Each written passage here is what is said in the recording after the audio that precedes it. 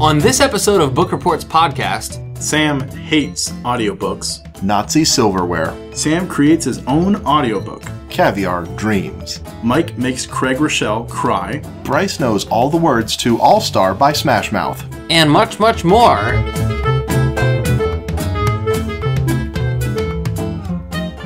Champagne wishes and caviar dreams. It's Book Reports Podcast. I'm Bryce Diener. And I'm Sam, first anniversary Tyler. Sam, for our first anniversary, we kind of wanted to bring it full circle, bring it back to our very first guest. I think it's more testament to our friendship that it's lasted this long with him, that he's willing to come back after what we did to him. Uh, so welcome, Michael Sweigard. Thank you so much. I'm glad to be with you guys, and I'm still wondering what a caviar dream is like. By the time you've finished recording this episode, you will have no trouble imagining what it is. right. We're not giving you one, but you'll know. For longtime listeners, all five of you, you'll know that in each episode we kind of asked our, our listeners what books they enjoy reading. But with our new year coming around, I want to switch it up, maybe get this new question rolling. I want to ask you what book or maybe books would you suggest to us for future reading? You kind of know our personalities now over the past few years. Yeah, I don't know. I mean, like, there's there's a lot of books that I've been reading. I wanna I wanna ask you guys a question too. Whoa! I'd like to avoid Wait, answering your question Yeah, yeah. and ask you one of my own. the second time he's here, he just takes over the podcast. Let well, Mr. Two Time over with a here. question. Um, Welcome to the Mike Sweigard podcast. Well- Taking over. We're done now. totally not. Totally not. Like my nose is in a lot of books, but I haven't finished them. Um, so I've started them. So I mean, I could recommend the ones that I've started. Finish this for me, Bryce, please. Tell me how it ends. I can't be But bothered. I have in turn attempted when listening through through audiobooks. Um, I've done that recently, and that's been a good method to where I've been able to do that. But does that count? Like if you listen Yeah. to a book? I say it does. Sam does not. So yes. I, I am in the belief that if you're going to read a book, having someone else read it to you doesn't count. Not even the author, so that they can read the inflections that they want. Unless they're reading it in person to you, even then, no. So when I take my microphone to Barnes and Noble for an author's reading, that doesn't count as me reading the book. Not if you didn't write it. There's a different set of skills that are used to listen to an audiobook than to read a book. Absolutely. I think you can get the same amount of information, much the same way if you're watching a documentary on TV. It's still not reading a book, but it's a different way of getting information. Sure. Yeah, I'm on board with that. But there was one that I listened to that I think you guys would find fascinating. It was called The Like Switch, an ex-FBI agent's guide to influencing, attracting, and winning people over. I think that you guys would have fun listening to it because it's this guy who used to work for the FBI and he now I believe is a professor and he teaches this process, but he also talked about how he would train agents to then engage foreign assets. And what's interesting for me as a follower of Christ, he has a lot of parallels when he talks. He's talking about the like switch in regards to what it looked like for that's the Carpenters again. Yeah, those darn cats in the alley. Peter, Paul, and Mary. Is that the Carpenters or that's a Peter, Paul, and Mary? That Peter Paul and Mary. Karen Carpenter and Rainy days and Mondays. Those darn Bee Gees out there. Very good. got that night fever. Gotta swing this hammer. Quit that jive talking. Right. How deep uh, is your nail? right. But like what he talked about is he said like a lot of the things he would employ to engage a foreign asset, meaning someone who they would really want to turn into a spy for the US, involve putting your own attention on the other person. And so it's just a fascinating parallel that wow, he was using it for obvious what's the best word? Politically, possibly not legal. Politi- nefarious. political, political, and Sinister. like you know, like um, well, he was using Manipulative. Yeah, to kind of to kind of engage someone for the benefit of the United States hmm. versus to engage someone to be a friend. And through the lens of scripture, like there's a lot of this that when you let yourself go and really put the emphasis on the other person, like you can see some alignment in some of this. So that was a hmm. fascinating piece. Cool. How has reading a book that tells you about body language and how it affects people around you affected how you do day to day life? Or has it? I'd like to think it has a little bit, Okay. but Can you nudge your way to the front of lines now easier? like, okay, I can get in front of this guy for sure. He won't say anything. no, but it does make me think about how I posture myself to Mm-hmm. think about what I'm communicating to people. If I was kind of like inching my way back towards the door, or like we're sitting, for those of you listening, you, we're sitting around a round table and all facing the center, we're engaged in the same thing. Mm-hmm. Versus if I was turned slightly to Bryce or slightly to Sam, you know, those are the types of things. And, and obviously it's like take it with a grain of salt, you know, like you can't use it as a one for one. Like, I just thought, man, in a place and, and role to interact with people, I want to make sure I'm doing the best to interact with mm-hmm. folks so I can know where they're at, so I can help. But he did share a thing that he and his buddy used to do, like as a party game. Everyone has like personal space barrier, so like mm. mm-hmm. three cubic feet of personal space. Sure. And so he and his buddy would play this game where if they were like out with a bunch of friends or something, or you know, hanging out with uh, people at a party, they would intentionally try to see who could, by invading personal space, nudge someone to the threshold of a door. Oh, whatever. Like, leave the room. yeah.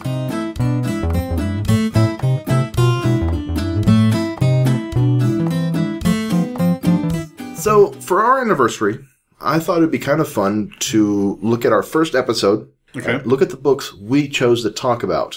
Bryce, you Yes. chose a book from your childhood, which was Holes, I did, yes. and you said that was a book that sparked your love of reading, Yeah, it did. Even though I was forced to read it by my mom, it was the match that lit the fuel, I think. which lit And the porta potty on fire. And there's just a big Still pile blazing. of books on fire. Yeah, Bryce has a blazing love of literacy now. I chose in a similar vein to choose the earliest book I can remember reading and enjoying. This is The Fantastic Feats of Dr. Boox by Andrew Davies. This is a book, if I recall correctly, my Aunt Mary gave to me as a gift when I was probably four. But you can tell much like the other book I brought in from my childhood, that this is a book I've owned as a small child because almost all the illustrations are in crayon Listeners, allow me to uh, describe a page for you here. There's a uh, Bigfoot, fully drawn in brown, beating his chest next to a Studebaker, scaring some pigs into a van. and the part with the text on it has been co- colored covered in, in, crayon or highlighted completely. making it really hard to read. I liked your NPR voice, by the way. That was good. This is all things considered with Terry Gross. NPR, call me if anyone retires. I'm, I'm, I'm available. If you need a mixed bag person, I'm, I'm really mixed baggy. Yeah, All things jazz, call me. I love jazz. yeah. I I think if Wait Wait Don't Tell Me ever needs to get rid of, I don't know, maybe uh maybe their announcer Bryce. What would you say, Bryce? From Book Reports Podcast, this is Book Reports Podcast. I'm your host, Bryce Diener, and here's your other host, Sam Tyler. Thank you, Carl. Well, this week in Book Reports podcasting, and that's about enough of that joke. But Any fan that we had listening does not listen to Wait, Wait, Don't Tell Me, and they are lost or stopped listening. they are loving it. Oh, this is so good. I've never clapped at a computer before. yes, more. Everybody else on the bus is looking at me, but it's worth it. NPR references left and right, but mostly on the left, the far, far left. And if you want jokes of this caliber to keep coming at you, please, please give us a call, make a donation, and get our lovely tote bags. Also, tickets to a Book Reports podcast recording live And at the and- local Geisinger Arena. And call your state senator. Tell them how important Book Reports podcast is to you. And now a portion from uh, Book Talk. So my dumb brother comes up to me and he says, "My book's making a weird noise under the hood." Isn't that right, Bryce? That's absolutely correct. Let's try it with my brother. We're gonna take a caller. you know when I said we should really make these shorter, I didn't realize that was impossible. we were just gonna do this anyway. Anywho. So my book this month, I forgot you had a book. the NPR skit, everyone. I hope you enjoyed it. my goodness.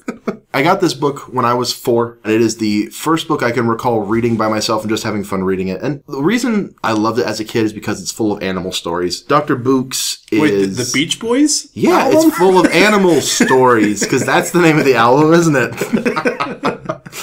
The little veterinarian from south of England. Dum dum dum dum dum dum dum. dum. But yeah, this is just a just a fun book I enjoyed because it was full of animals. And What's really kind of neat about reading it as an adult is how idiosyncratic every single story is.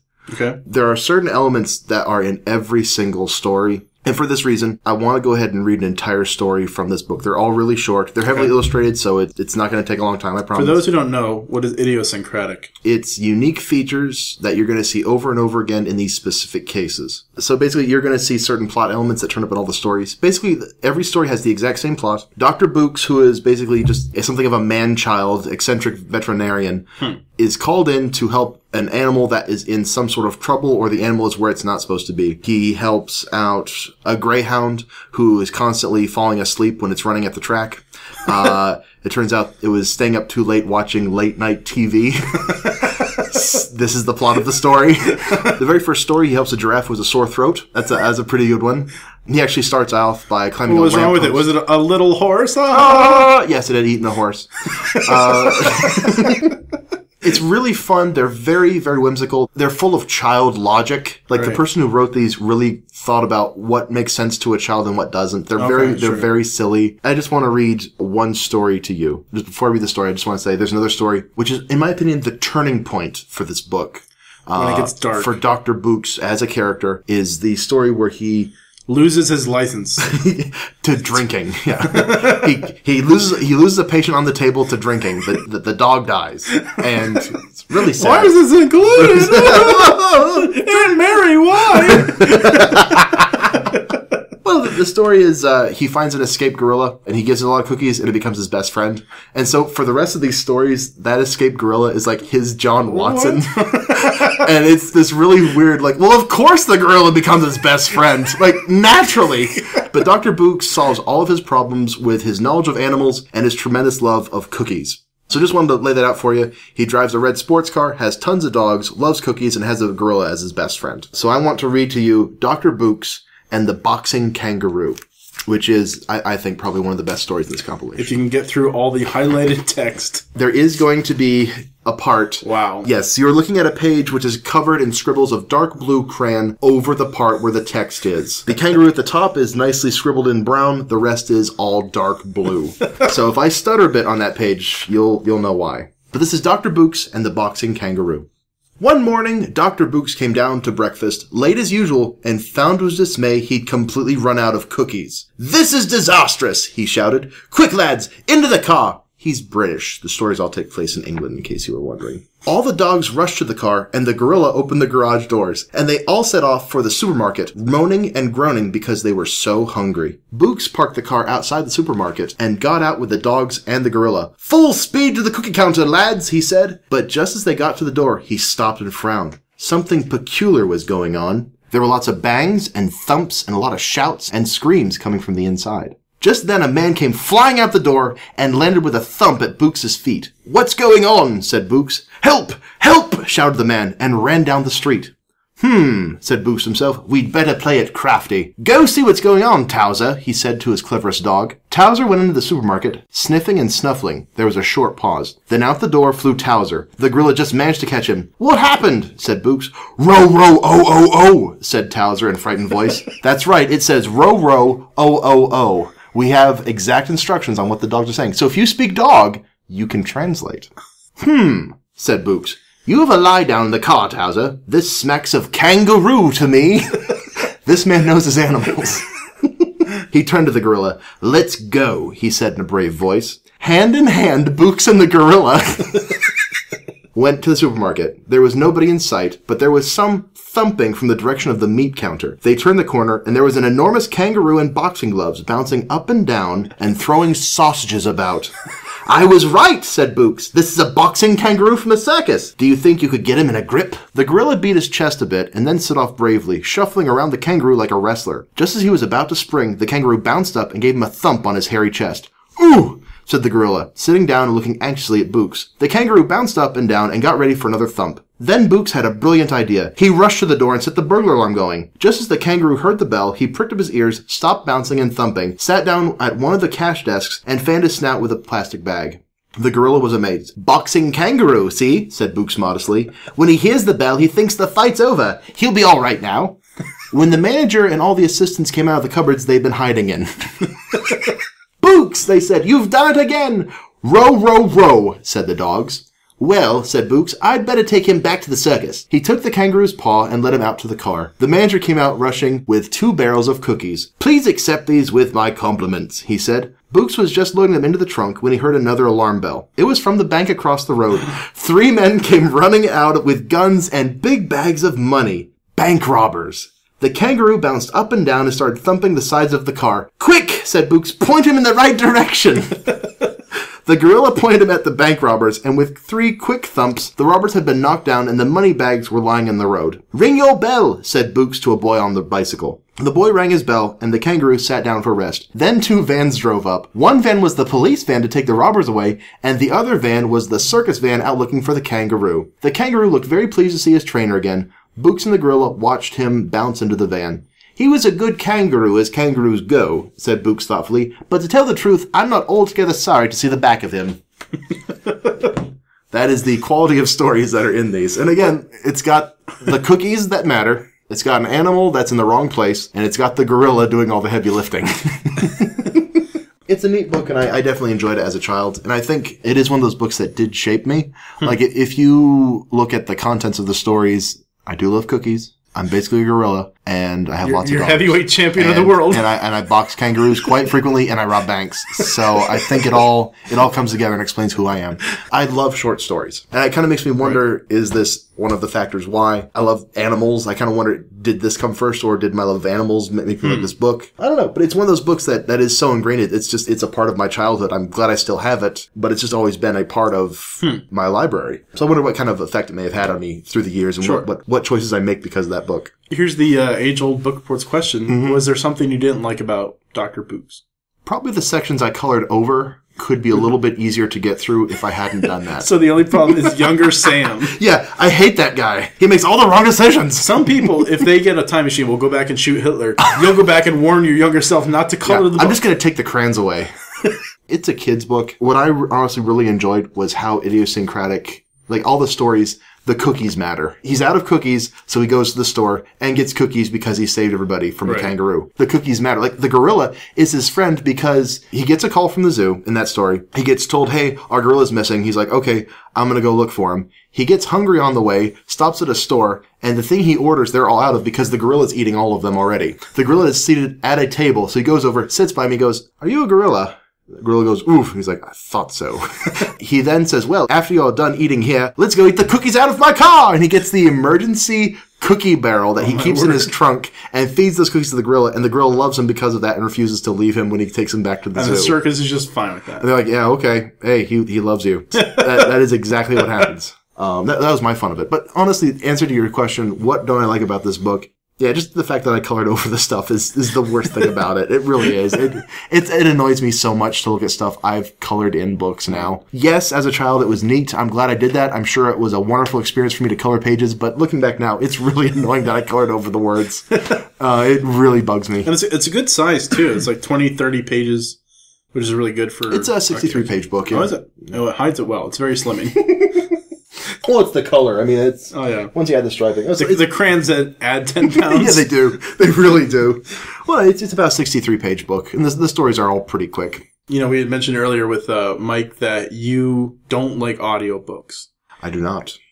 I think after listening to this, you've just created an audiobook. You read a whole story from a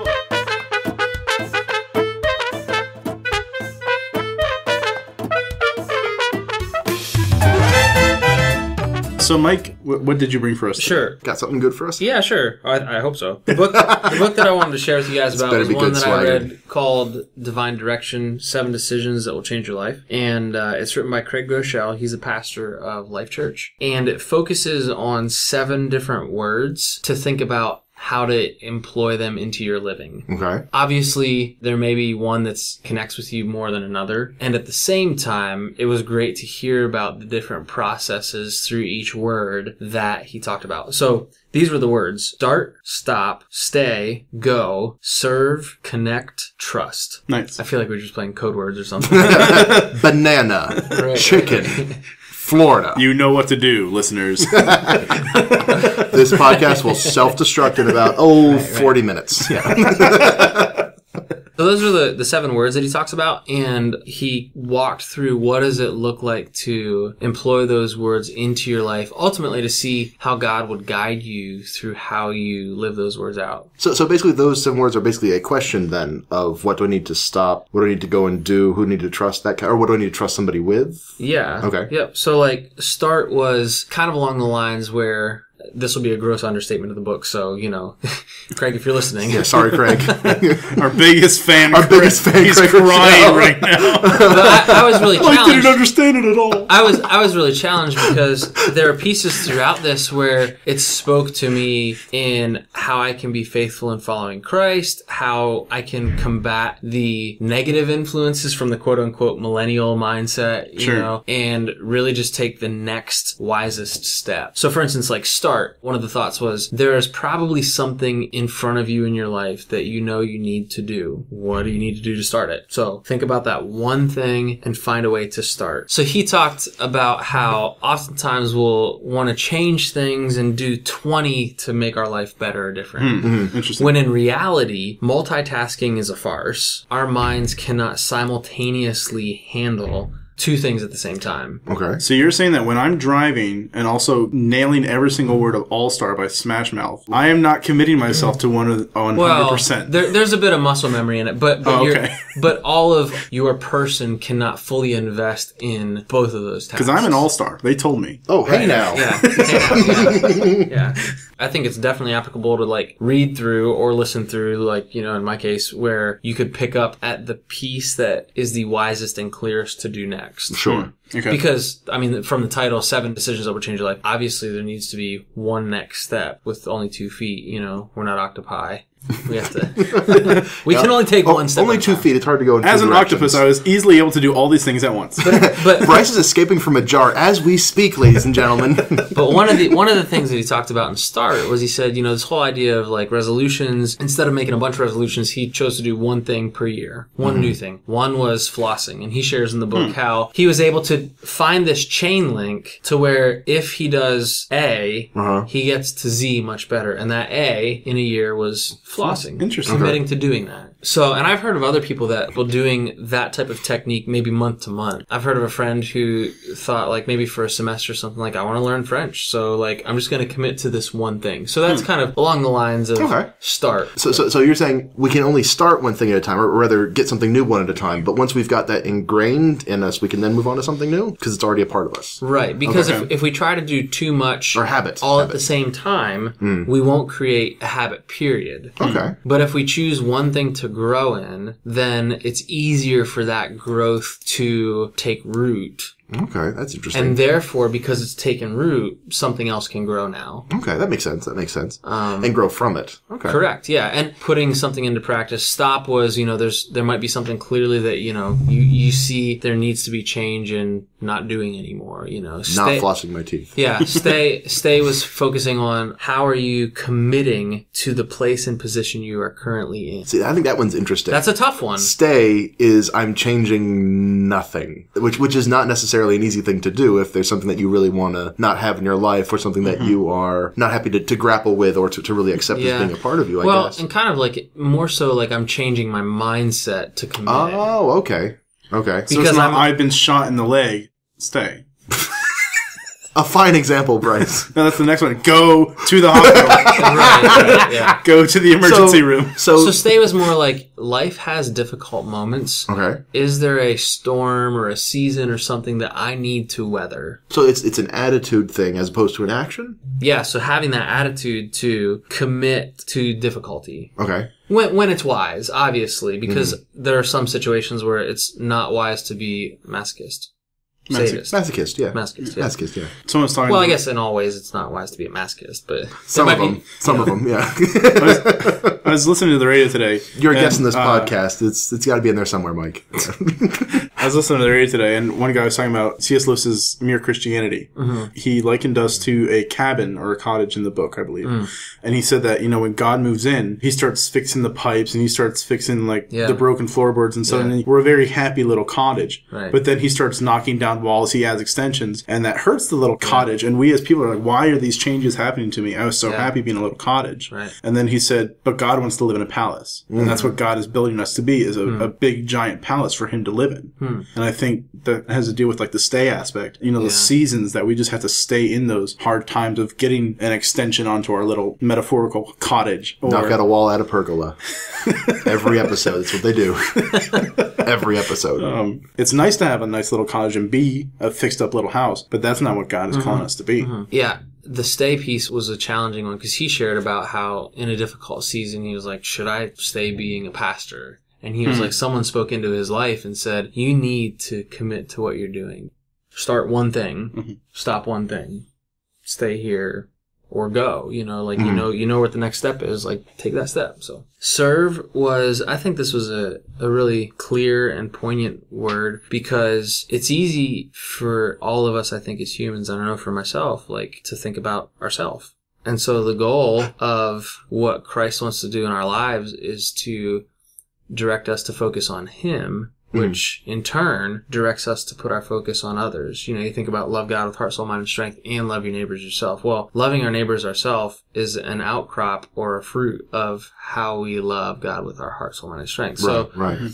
if we find a place in which we serve, we automatically turn the focus on to someone else. Mm-hmm. Are you finding a place where you're serving? Because when you serve, like, and it's that whole deal of like, I don't know if you ever heard someone talk about like if you're having a difficult time or you're down or something like the best way to help you get out of being down is to like go help someone else. Hmm. Not that it negates or removes the difficulty but the shift in focus is just this way that we've been designed find a place to serve because that puts the focus onto others which really makes a situation and another person better and in turn you become mm-hmm. better and improved in the process. Yeah. so serve was the the fifth word connect that one weaves, I think, through the other words a bit, where it's like connect with others. Mm-hmm. Book Reports podcast is what it is because of your great friendship together. You know what I mean? Like, it's the anniversary That, episode, that is guys. true. That yeah, was yeah. It's not untrue, I suppose. And the massive amounts of money I pay him to do This this. is this is the anniversary episode. It's okay if we get a little sappy,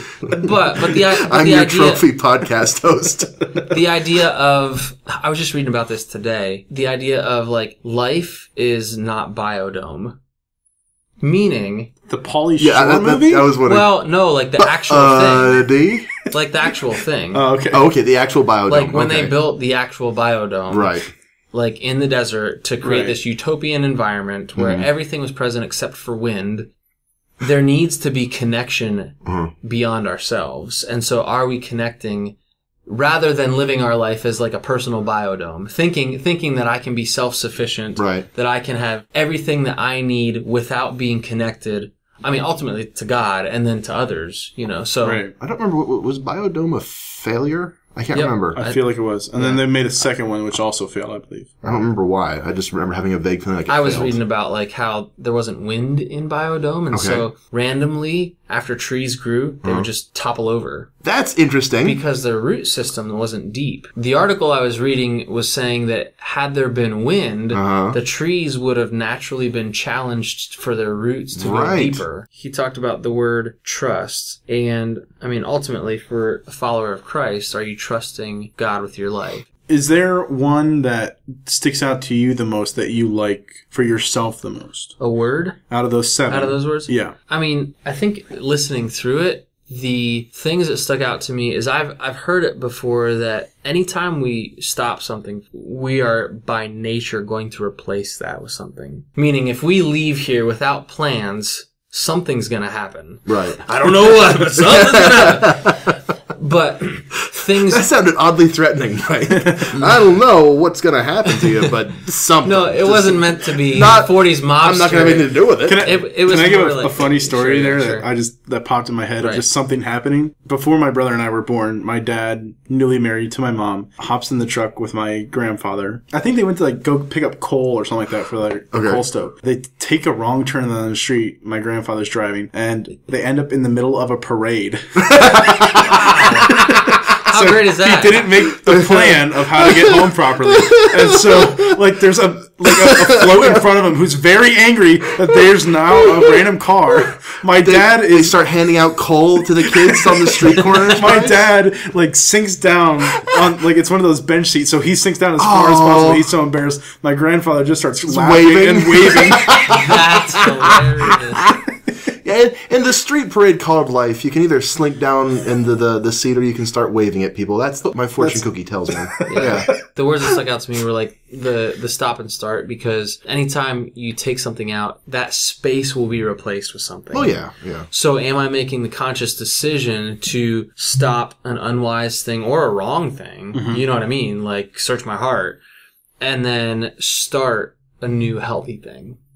So those those were two that stuck out to me. I Oh, mean, yeah. No, no matter what you're doing, there's always the same number of hours in the day. Uh, If Right. you stop doing something else, you're going to end up doing something different. Uh, so no matter what. Yeah, so it spoke to to the realm of like prioritization and Mm-hmm. uh, you know, kind of making sure that that happens in an appropriate way. Did you notice a difference maybe in that this was an audiobook? I think you're the first of hopefully many audiobooks. Our that first will- guest who is willing to admit that they listened to an audiobook instead of an I actual didn't have book. a physical copy to bring. Right. Um, did you did you think that somehow maybe Fortunately, added the to- gall. I'll be glad to read the transcript of the Book Reports podcast if you if you distribute it. Our friendship will continue if that happens. That's Um, fine. did you think that added to what you got out of the book, or maybe took something away from it, being that it was an audiobook? I don't know. It was it was a different format, and this was that was the first audiobook that I had went Listened to? through. I was Really? gonna, well, I was, I was gonna say that would be kind of redundant.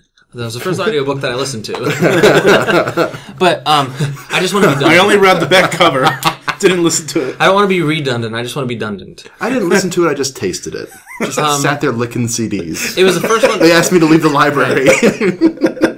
It was it was the first one that I had listened to, and I found the format hmm. engaged my mind in a different way. I mean, obviously, like you said, Sam earlier, like to put your eyes to the page and underline or highlight or jot a note in the margin is different than when you hear things in an auditory nature. you also are getting a different source of information in Sure. the person's voice and their inflection. That's Yeah. going to change how you interpret things. Too. Well, right. And so, no, that book was not read by the author. So some of them have been. Mm-hmm. And I mean, that adds a, even a different nuance to know, like, oh man, this is the author that's oh yeah, yeah, yeah. speaking these words. But I did find myself, there are times where I would be going along and I'd be like, oh, I need to hear that again. So I would hit reverse 30 seconds and listen to it again just to kind of catch it. Hmm. That's a fun feature. Yeah. so, well, and you can also like save. It's called rewind. Marvel of technology. There's another term.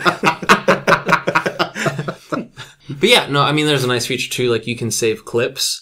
Oh, so cool. you have like a library of clips that you save. That's interesting. I was gonna say because it's hard to go back right. to Where did I highlight? What did I Exactly. highlight? What did I like? That's a- that's so a I've started to feature do that. for And a you- I book, think yeah. I think I'm still new to it, but I think you can put like titles to the clip if you want to jot a note. That's you can jot a note. That's that weird Is- story about turtles? Right. Yeah. yeah. Is th- but what do you do with the clip? Like, i- is this your copy of the audiobook, or were you renting it from Audible? Or? Nope. Uh, you can you can keep it on the cloud or you can download it to your device. Okay. So having those notes does function And after then you it's finish linked to the reading it. account. Yeah. Oh, that's so- clever. I like that. That's Yeah. a good feature. So it's a nice feature. Thanks for coming back for the second time. Yeah, I appreciate you guys having me here for the show. Thank I'm you. excited for you guys in your first full year of podcasting. And to you that are listening, I hope you have as much fun listening to Sam and Bryce as I do spending time with them. Stick around because there's great content to come in April.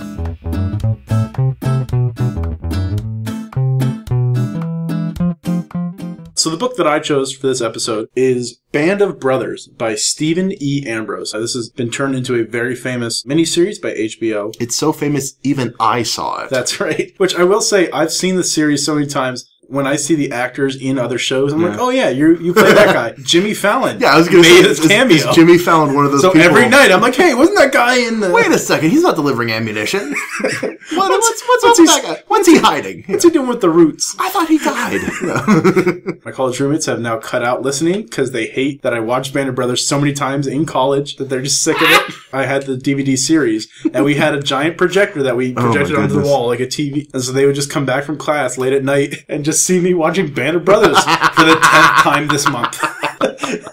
So what the story entails, this this book follows the E Company or Easy Company of a paratroop division in World War II. These were actually real guys A lot of these guys are drafted. A lot of the guys volunteer to join the army. And as they're going through being introduced into the army right before basic training, they say, Hey, for an extra $50 a month, you can volunteer to become a paratrooper. That's good money. I actually did the math on it. It's actually $300 in today's money. Oh. And so for 300 extra dollars, you can join this new, never before done group. I was going to ask, how new was paratrooping? Because Well, they were the 101st doing it, so there's got to be 100 more before them. Well, that's the trick. That it makes you sound like there's more groups.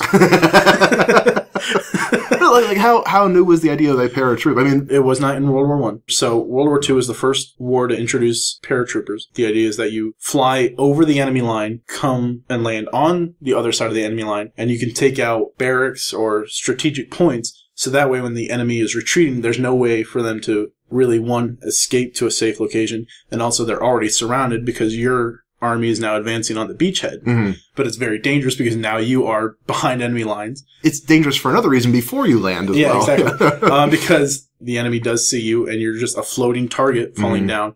And so these guys are in the United States. They say, hey, for an extra 50 bucks, you can become a paratrooper. And so Easy Company is what this book is focused on. Their leader at the time was a man named Captain Sobel. And he was a very strict individual. He made them exercise more than any other company. He made them become the very best of any company when everyone else got to go to lunch or go to sleep, he was like, okay, let's do some more drills. And so they all hated him because he's making them do extra work. But what it actually did was create camaraderie amongst the enlisted men and the officers that because we all hate this guy, we're all joining together as a band of brothers. right.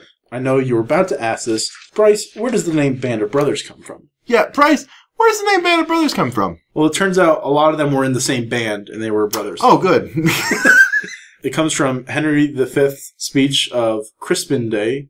From this day to the very end of the world, we in it shall be remembered. We few, we happy few, we band of brothers. And so Henry V is giving that rousing speech to his men. And so it, it fits very well with these Easy Company guys. And that's kind of where they get the name, or Stephen Ambrose got the name for Band of Brothers. Mhm.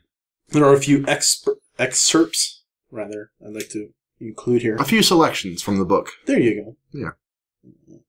Bryce, please don't make this a long thing. Don't read an entire story, okay? That would just really. Oh, I'm sorry. I'll do my best. um, Captain Sobel, I already mentioned him. There was another man named Richard Winters, and he was kind of the second in charge under Captain Sobel. He's like the polar opposite. Everyone likes him. right. Everyone thinks, hey, he's a smart fella. I would follow this guy into battle. And so I just want to introduce him because we're going to mention him later. So there's paratroopers that have gone through basic training with Captain Sobel. Now they've all passed basic training, and so now they're going into paratroop school. This is at a different location. These sergeants who are in charge of stages A, B, C, and D of training have to get them through each stage. Once you finish A stage, you go to B stage, so on and so forth. So the first guy What comes after B stage?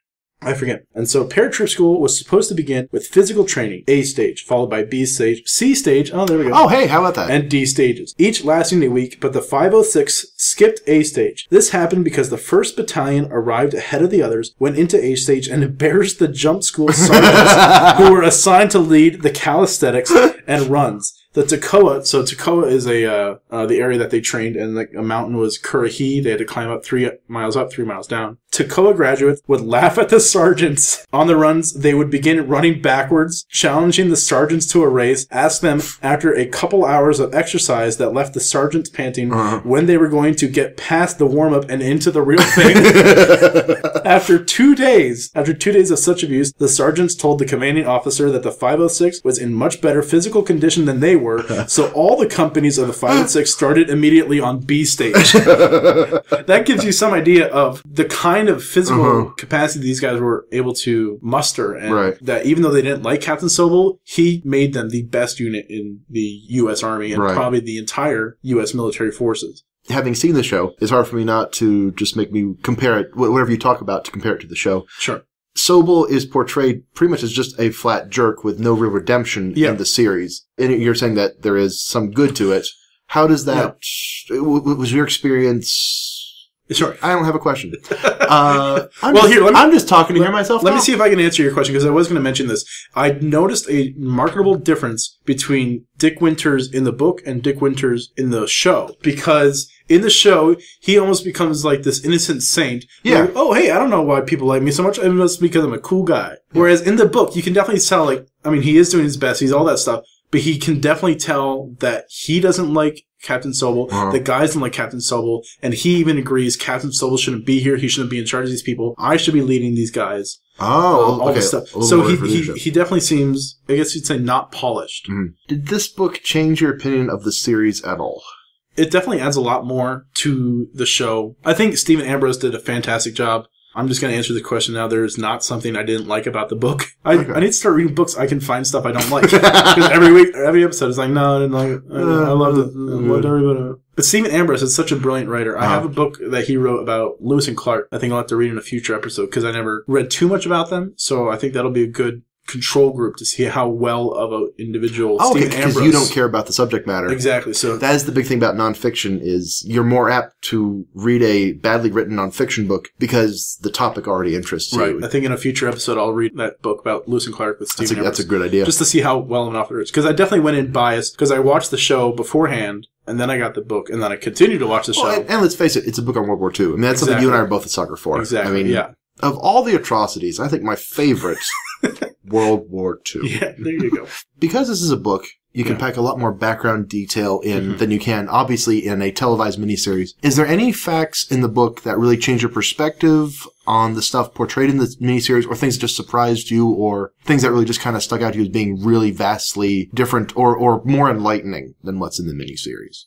In the miniseries, before ep- episode starts and at the very end, usually they'll have interviews Oh, yeah, yeah, yeah. with the actual guy. yeah, yeah. Uh, and it's hard to think of these sweet, innocent old men as being like these rough and rugged guys who are actually killing people. Yeah, who who were tough enough to win World War II. Exactly. I can definitely see them as like be, being tough guys, but it's like I've maybe built them up as heroes in my mind. And so the problem is to think that these heroes did those nasty things, like actually killing people, like popping off shots. Like one of the first things that they did on D-Day as they jump in, Captain, or I believe it's Captain Winters at this point. Yeah, I did say that. So we'll stick with that. Um, The now I- Captain Winters. I, I keep giving him promotions. Lieutenant General, Doctor Commander Winters. President Winters. Admiral, somehow in the Navy. At this point, Captain Sobel has been relieved of duty. Okay. He is now in charge of a parachute training camp back in England. They're given a new commanding officer whose plane actually goes down on D-Day, but Captain Winters doesn't know that yet. So right now, Captain Winters is the adjunct leader of Easy Company. And what Colonel Sink, who's in charge of their battalion, says is there's these cannons that are firing on Utah Beach. You guys need to take Easy Company, take them out. And so the way that he takes out all three cannon is actually still textbook today. And if you go to like military school or if you join the army and you are like sitting in class, they will still teach you about this event. These guys were so good at their jobs that they created textbook examples of how to take out positions that have more troops in a defensive position. Mhm. Uh, here's a photo. Just because Easy Company had a well reputation of being the best. Mm-hmm. Here's a photo of Dwight Eisenhower and Winston Churchill inspecting, inspecting the troops. Someday all of you are going to be represented in an HBO miniseries, I guarantee it. Really good Eisenhower. And I'll be played by John Lithgow. Someday I should be so lucky.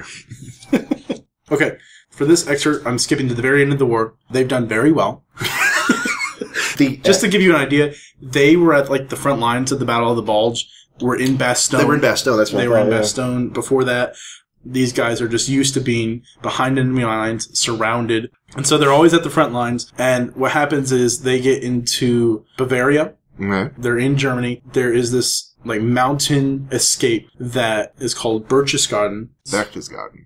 Berchtesgaden was this town of like, if you're a Nazi and a true Nazi, you better have a house in this town. Well, it was their like little summer getaway kind of Yeah, exactly. And so if you were anybody in the Nazi party, you had a chateau at this place. And on the highest peak of the mountain, like several thousand feet in the air, there was what's called the Eagle's Nest. And it was like a little outlook that Hitler could go up to. There was a gold leafed inlaid elevator that was able to take you to the top. And what they said is that Hitler was actually afraid of heights. So he didn't really go there very often. Oh, Oh, you don't have to awe Hitler. no! I think you're fine. No, I'm saying the waste of gold in the elevator. Then. Oh Like, yeah, what?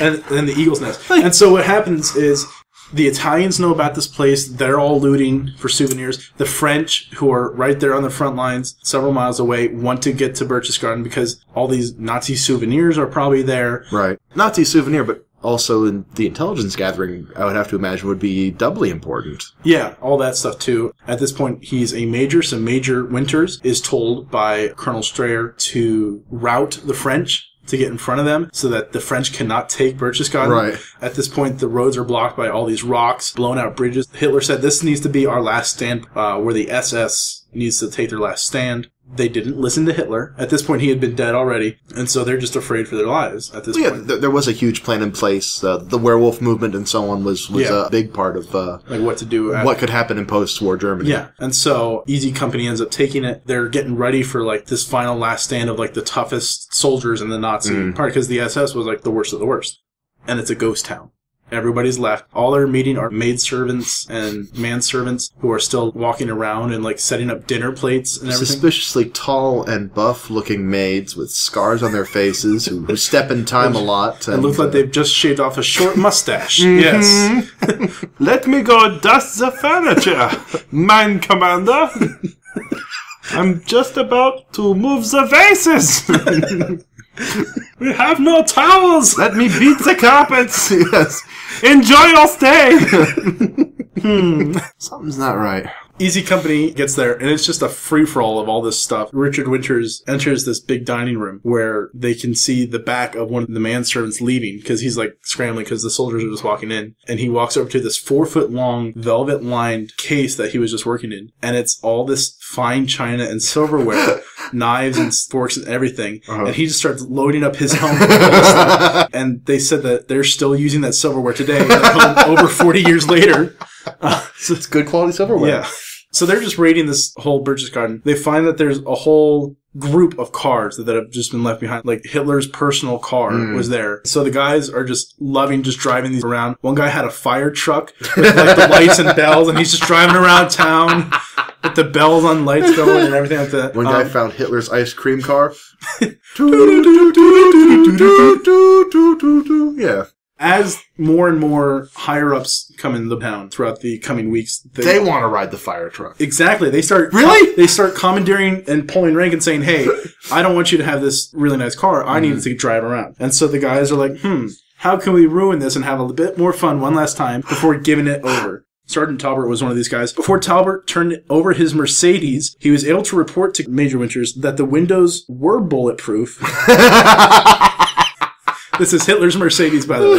That the windows were bulletproof, but if he used armor piercing ammo, it would get the job done. Winters thanked him for his research, agreed that no one knew when this kind of information would come in handy. The men tried another experiment. They drained the water out of the radiator of the Mercedes to see if it could run without it. Later, we find out that Mercedes couldn't even make it up halfway to the Eagle's Nest because it just died on them. With a third luxury car, they decided that before turning it in, they would see if it could survive a 30 meter crash. So they pushed it over a cliff. Valuable data. Yes, Good job, exactly. gentlemen. There is one last here I will end with. This was way back at the very end of D Day. Before lying down, Winters later wrote in his diary, I did not forget to get on my knees and thank God for helping me live through this day, and asked for his help on D plus one, so D Day plus one. Right. And he made a promise to himself if he lived through the war, he was going to find an isolated farm somewhere and spend the remainder of his life in peace and quiet. He actually kept that promise to himself after the war. Uh, when Korea came around in the 50s, he helped paratroopers train, but he didn't want to actually jump. And so after helping the paratroopers train in Korea, he moved to Hershey, Pennsylvania, near where we are recording live right now. Uh, Outside the chocolate factory. We're the guys in the Reese's peanut butter and Hershey bar suits. we are Be sure to come and say hi to us. walk up to them and ask them about Book Reports podcast. Please do. we'll love you. And so he actually moved to Hershey, Pennsylvania, and became a farmer. And actually, a nice little connection I have to Richard Winters personally. My uncle worked at a store and sold him seed. Please, Bryce, there is no more personal connection. Oh, you but could wait. possibly There- have there's than one- your uncle selling him seed. what could top that story? Richard Winters ends up getting married to a lovely lady. I'm sure I haven't met her. I don't know. Maybe she was a jerk. Who knows? they end up having a daughter. She grows up, and my father invited her to prom. And that's my little connection. Is my dad took Dick Winter's daughter to prom. They have a good time. I don't know. Apparently I not. didn't, I didn't ask her. yeah, apparently it didn't work out. Otherwise, I would be saying Grandpa Winters.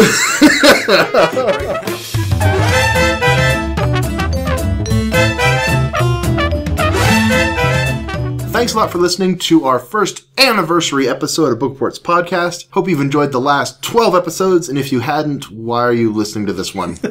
Why did you start at episode 12? well, don't start with episode one, to be No, fair. don't do That's, that's, yeah, so this is actually a better episode one than episode one is. I'd like to thank our guest, Mike, for coming on the show. Thanks a lot for being with us, Mike. We know you had to leave early and go take care of some, some family stuff, so thanks very much for joining us for our anniversary episode. Thanks very much for being our guest, Mike. You were terrific. If you enjoyed this episode and you want to hear it all over again, because we were that good, or listen to the ones that came before it, uh, you can find all our episodes on iTunes, most of them on SoundCloud. Uh, you can find the links on Facebook, and you can also find us on YouTube now. So feel free to like us and rate and review us in whatever format you're listening to us. We'd appreciate that. It helps people find the show. You can also talk to us directly if you want to communicate with us, ask us a question, maybe tell us a book you want us to talk about, whatever it is, by sending us an email at bookreportspodcast at gmail.com. Uh, you can come find me, punk, at uh, my blog.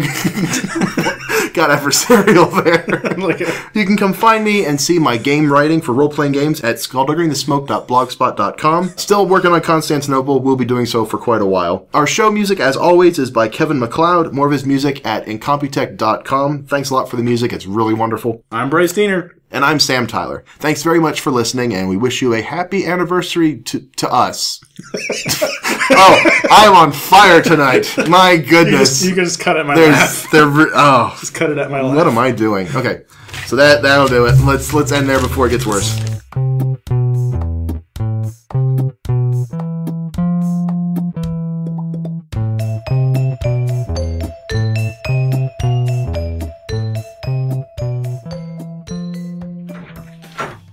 Felt bad that I had to leave. And when I was at the grocery store, in honor of your in honor of your anniversary episode, Sparkling cider. I really, cider. thank you so much, Mike. Hold on. Hold on, you know how to open those, right? There's a, there's a metal cage you have to take off. Well, thank you very much. You're welcome. It's just a- what's happening out there? Is there a surprise party for our anniversary out there, Mike? You're gonna lead in like eight people in a banner and confetti and Cheers. cheers.